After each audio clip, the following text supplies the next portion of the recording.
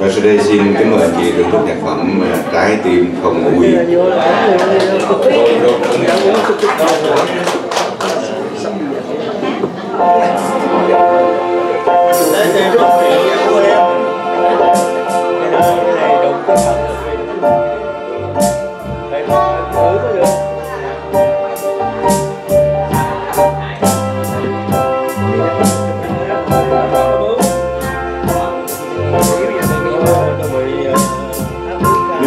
lối anh vẫn chưa yêu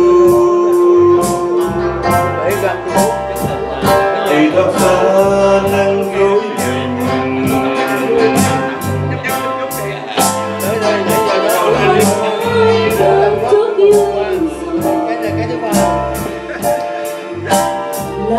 Hãy